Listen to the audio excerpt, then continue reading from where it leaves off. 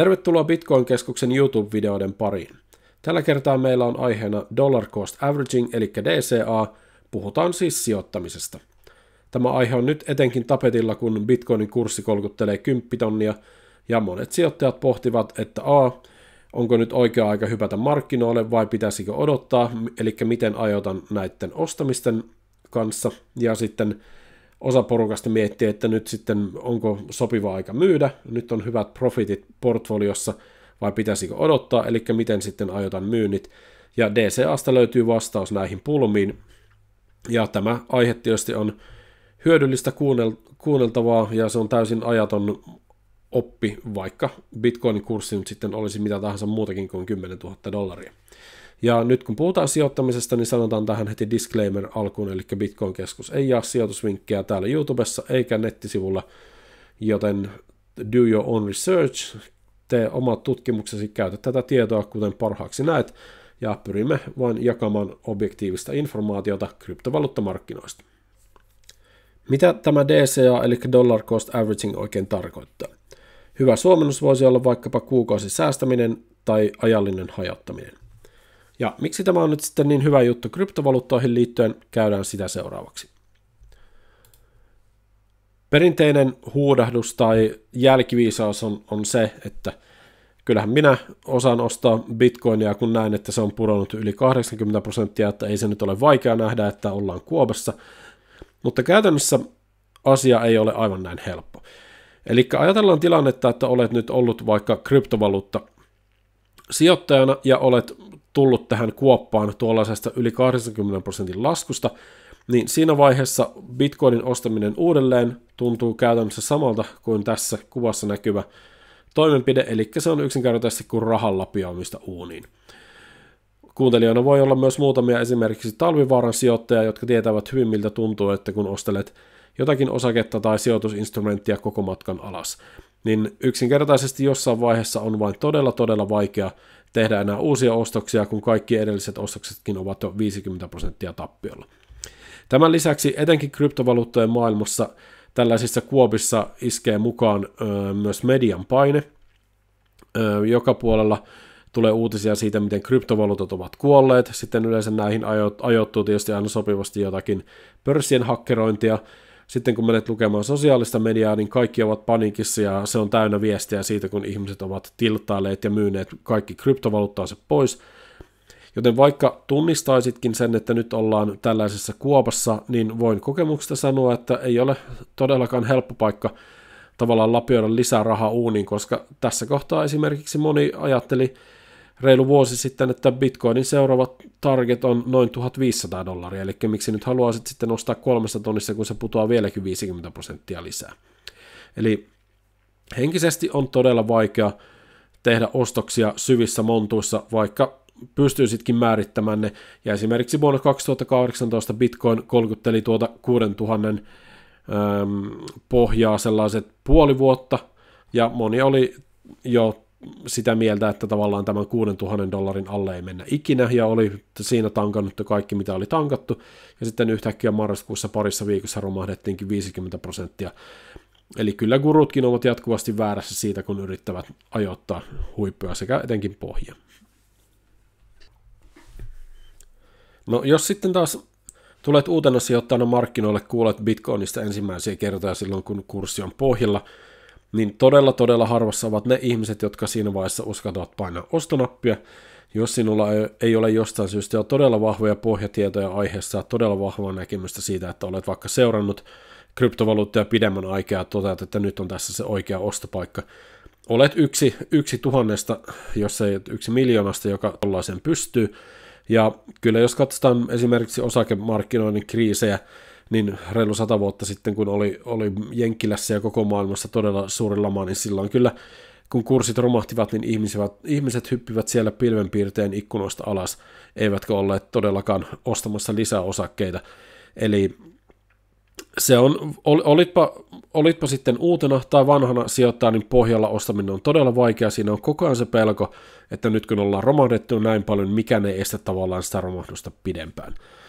Ja sitten jos mennään tänne myyntipuolelle, niin siinä on vähän toinen probleema sitten, eli tuossa huipulla, huipulla, kun mennään, ja, ja Bitcoin nousi tuossakin, tuplaantui suurin piirtein viikossa, ja, ja, ja koko ajan vaan niin kuin kurssi nousee ja nousee ja nousee, niin siinä vaiheessa on hirvittävän vaikea sitten sanoa, että mihin tämä ralli nyt pysähtyy. Etenkin kun kryptovaluutoissa ei voida verrata, että nyt on jonkinnäköisiä kvartaaliraportteja tai tuottoraportteja liikevaihtoa, vaan, vaan kurssi perustuu täysin spekulointiin, ja tuossa vaiheessa tulee kokeneillekin sijoittajille mukaan ahneus, siinä vaiheessa sulla on kaikki kaverit ja tutut ja taksikuskit ja, ja niin kuin kaikki mahdolliset ovat ostaneet bitcoineja ja on tavallaan se hirveä huuma, jota media ruokkii, niin siinä on todella kova päätös sitten osata tavallaan ajoittaa se, että missä se huippu oli. Ja 2017 esim. monet gurut möivät suurimman osan omistuksissaan jo kymppitonnissa, moni möi myös ennen sitä, ja jälkeenpäin nähdään hyvin, että se ei ollut lähelläkään huippua, eli ei se ammattilaisillekaan ole helppoa se ajoittaminen, ja tavallaan henki, henkiset probleemat ovat myös tuossa kurssin huipulla, ne ovat vain hieman sitten erilaiset kuin kurssin pohjalla. No mennään sitten tähän aiheeseen, eli DCA ja miksi se on niin hyvä juttu.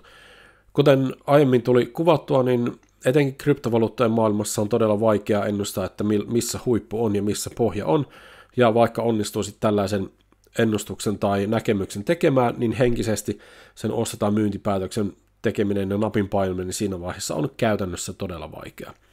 Ja DCA, eli tällainen ajallinen hajauttaminen sitten ratkaisee paljon niitä probleemia, eli ensinnäkin se auttaa aloittelevaa sijoittajaa ottamaan tällaisen ö, pidemmän aikavälin näke- näkemyksen sijoitukseen, kun ö, panokset hajautetaan pidemmälle aikajaksolle, eikä se tekeminen mene sellaiseksi hosumiseksi, että yritetään nyt tässä viikon tai kuukauden tähtäimellä ajoittaa jotakin kuoppaa tai huippua. Ja kryptovaluutteen kohdalla on yksinkertaisesti niin, että valitsetpa minkä tahansa aikajakson vuodesta yhdeksän vuoteen, kymmenen vuoteen taaksepäin, niin olet aina jäänyt plussalle – tällä DCAlla, että kun teet tuollaisen vaikka, tässä on esimerkkinä 50 dollarin sijoitus joka viikko, niin mennään vaikka tässä yksi vuosikin taaksepäin, niin olet kivasti 40 prosenttia plussalla, vaikka sinne mahtuu todella pitkiä jaksoja, jolloin olet ostanut kalliita bitcoineja, ja nyt kurssi on esimerkiksi vaikka kesän huipuistakin vielä, vielä lähes 50 prosenttia alempana.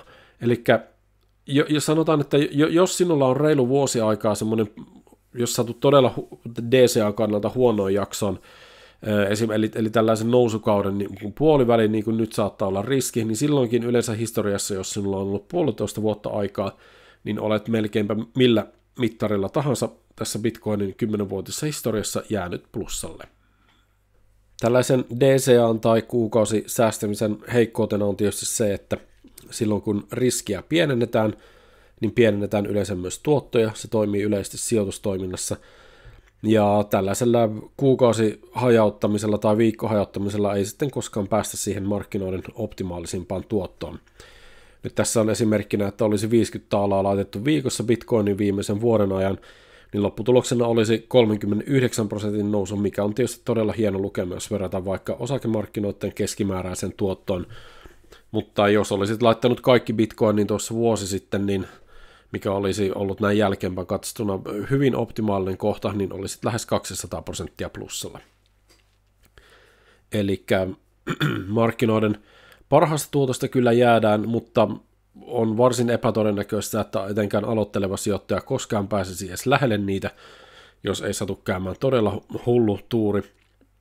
Ja ennen kaikkea mielestäni DCA suojaa aloittelijoita siksi, koska heillä on vain se paha tapa, että markkinoille lähdetään ja ostoksille lähdetään vasta siinä vaiheessa, kun kurssit ovat nousseet paljon, koska ihmisiä ei, ei yksinkertaisesti kiinnosta sijoittaminen tällaisiin kryptovaluuttoihin ennen kuin on sitten jo melkein liian myöhäistä.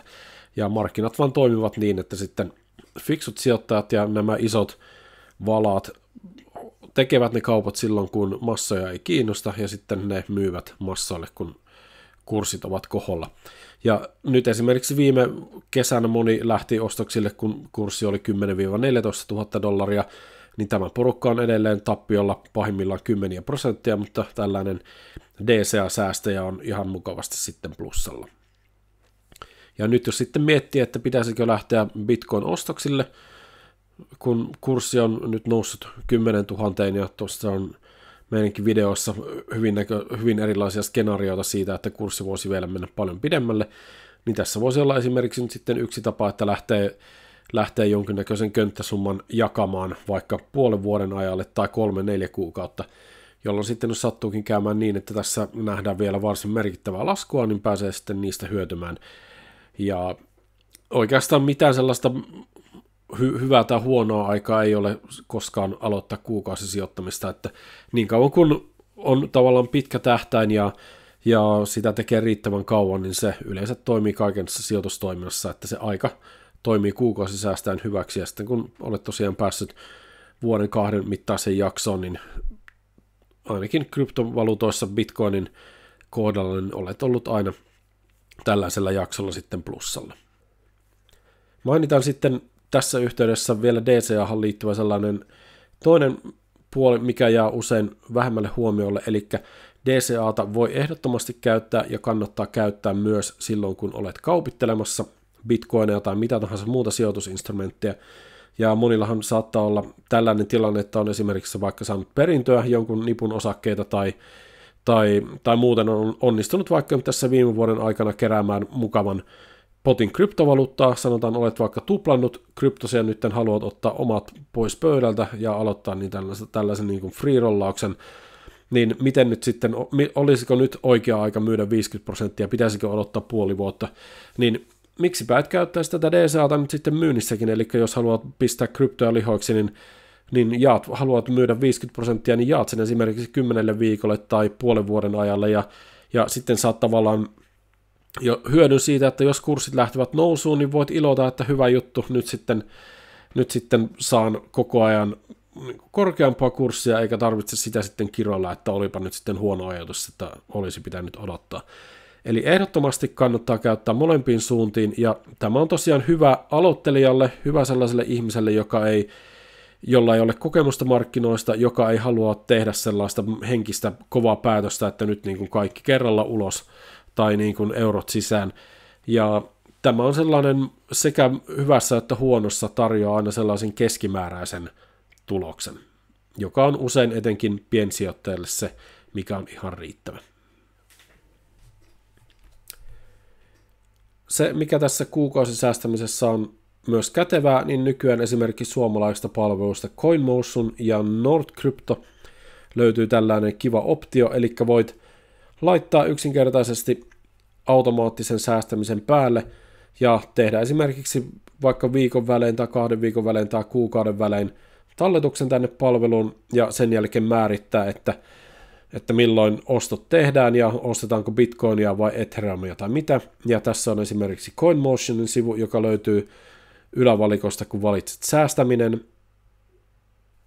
Tässä on sitten NordCrypto-palvelun vastaava sivu, eli voit luoda tällaisen automaattisen oston – talletat tilillesi euroja haluamallasi ajankohdalla ja sitten aina kun euroja tänne tilille tulee, niin sitten voit määrittää, että ostetaanko niillä bitcoinia, litecoinia vai ethereumia ja sitten millä prosenttiosuudella.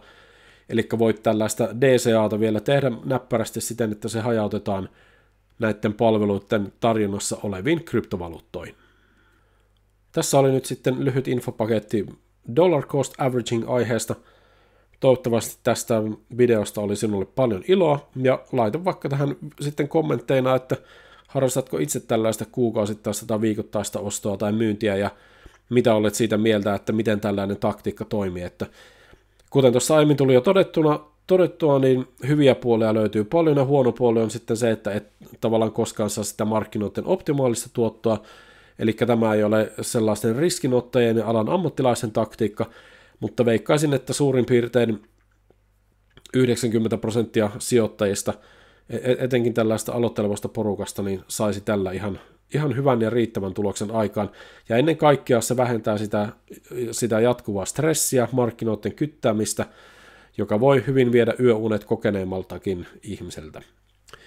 Ja muista tilata Bitcoin-keskuksen YouTube-kanava. Me tuotamme joka viikko uutta materiaalia ja kaikkea mielenkiintoista kryptovaluuttojen maailmasta, eli subscribea ja tsekkaa myös muut kanavamme videot, joita löytyy jo puolitusina kappaletta. Siellä on paljon todella hyödyllisiä aiheita ja nytten tapetilla.